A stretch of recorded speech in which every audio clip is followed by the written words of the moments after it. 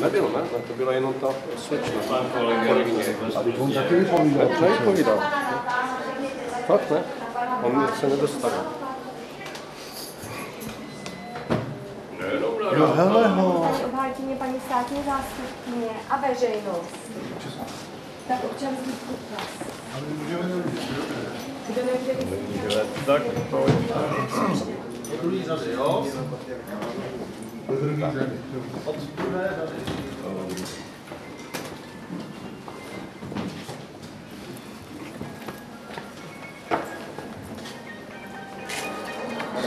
pokud nemá zadání, Jo, ahoj, vůbec. Čau. No, já jsem to řekl, Ale všechny nese. vypadá, že to dopadne. Jo, ne, mělo by to být. Zas uvolněte to tady.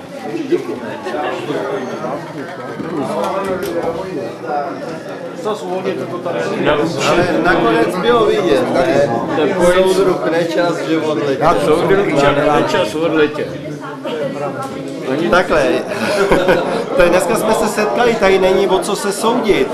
Teď stejně komunisti v roce 90 spolupracovali s kartou 77, protože kdyby nespolupracovali, tak ona by spolupracovala s lidma. Což vždycky člověk, když se objednal u karty 77, ať u Havla nebo u veškerých členů, tak každý se zapíral, schovával a tak dále. Nakonec je vidět, rok 90, komunistický členy se dostali do vlády a pokračovali dál později do ODS, do sociální demokracie a tak dále.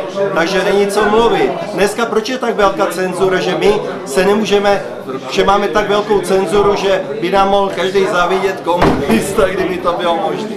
Jenom tady.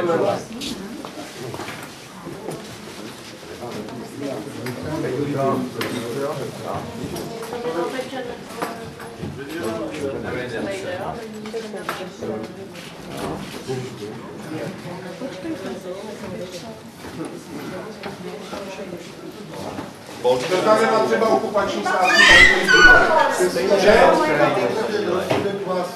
A dělají to dobře a důkladně. Vyměnit soudce, legislativu. Může taková mladá holka a dá mu tenhle trest. Tak. To je trapné. Tohle je nová generace soudců. Víte, totalitní stát.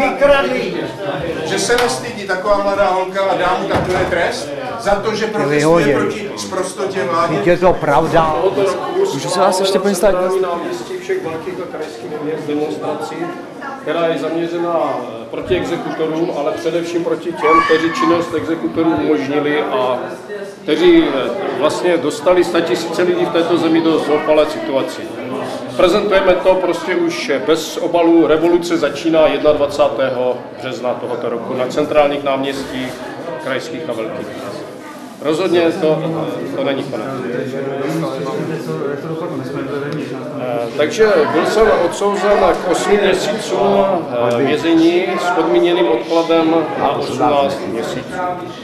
A proti tomu rozsudku jsme se okamžitě odvolali a v případě potřeby to skončí ve Štrasburku. Taky děkuju. My jsme lid, my jsme lid.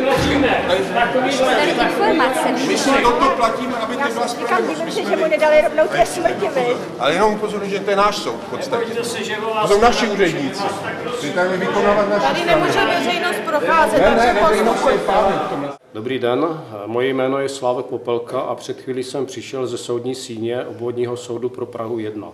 Projednával se případ související s blokádou úřady vlády, vlády Petra Nečase v dubnu tohoto roku, kdy tam probíhala několik týdnů eh, protestní akce proti praktikám Nečasové vlády. Během blokády došlo k incidentu, kdy jsem byl policií eh, napaden ve svém autě, bylo rozbito okénko a byl jsem vytažen na ulici. Následně mě policie České republiky obvinila z útoku na veřejného činitele a při dnešním soudu jsem byl odsouzen eh, k 8 měsícům vězení s odkladem na 18 měsíců. Eh, Tento rozsudek je dokladem toho, že naše justice je nezávislá pouze podle jména. Soudkyně vůbec nevzala v úvahu, že se jednalo o politický proces a odsoudila mě v podstatě jako kriminálního zločince.